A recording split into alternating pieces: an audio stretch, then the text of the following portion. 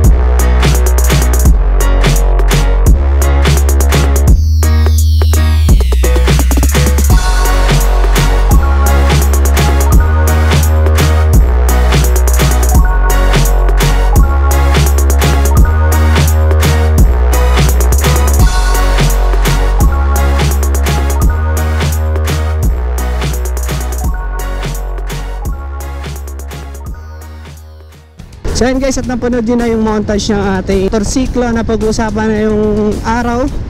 So we have the Honda Dio 2021 So may bago na namang uh, pagpipilian ng mga scooter lovers natin dito sa Pilipinas. Addition sa mga motorsiklong ilalabas ng Honda ay ang ito nga yung Honda Dio natin 2021 Pero alam nyo ba guys na ang Honda Dio ay uh, nailabas na dati pa So, nandito sa screen natin ang quick history recap ng Honda Dio 2021. Sa, sa makikita ni dito. So, this Honda Dio 2021 is scooter manufactured by Honda and was introduced in 1988. So, medyo matagal na, 1988 pa.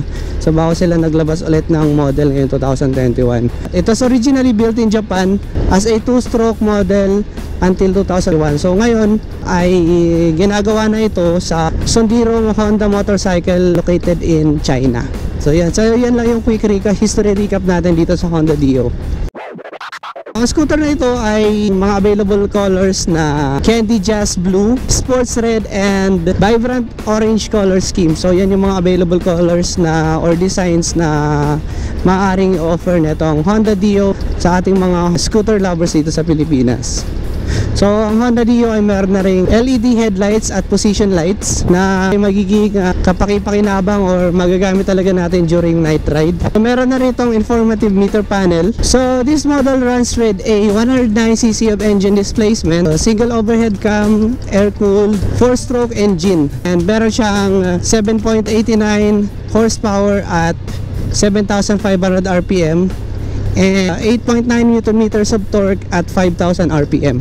So yan yung power na may offer ng Honda Dio 2021.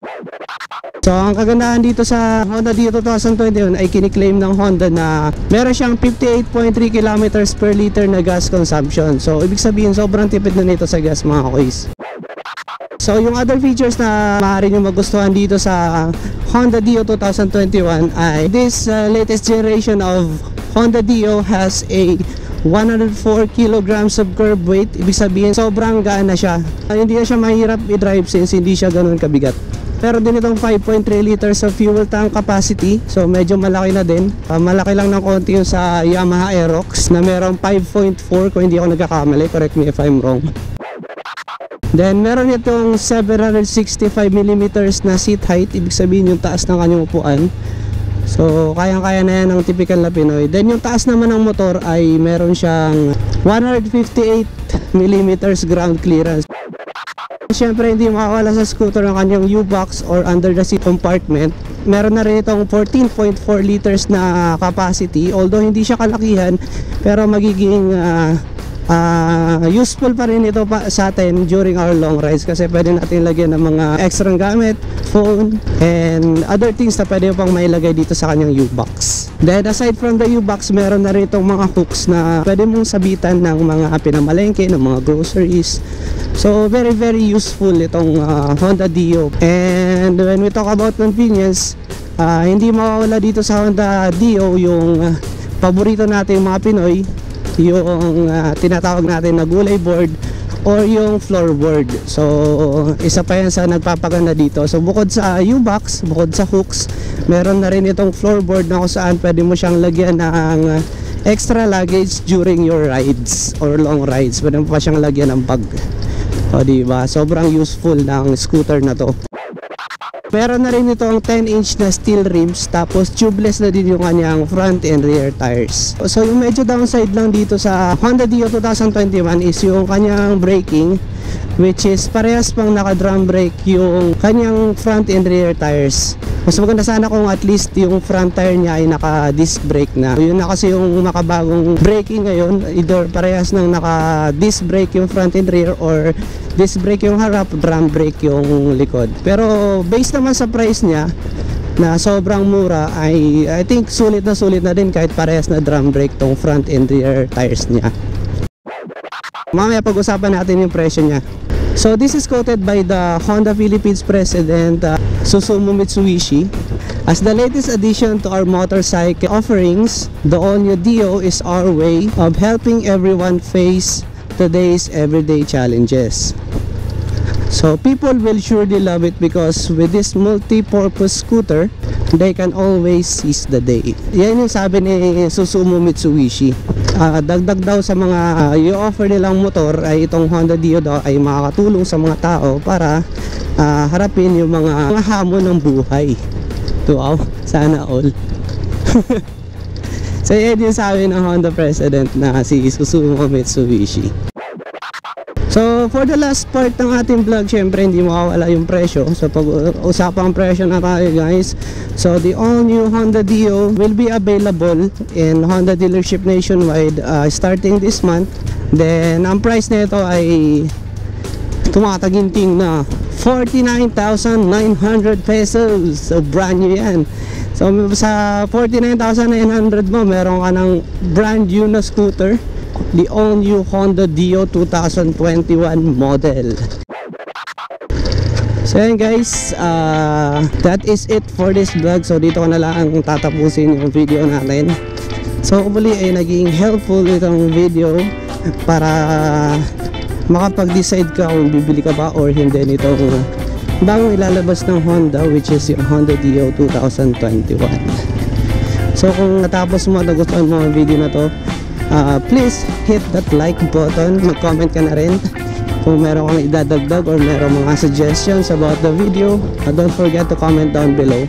Kung hindi ka pa nakasubscribe, please hit that subscribe button. So kahit konting tulong na lang dito sa channel natin para ma-build up natin and makapag-review pa tayo ng madaming motorcycles hopefully in the future. And the bonus mo din yung notification bell para notified ka in case na meron akong i-upload na bagong video. So yan, once again, thank you very much for watching. This is Moto JB signing off. See you on my next vlog. Peace out.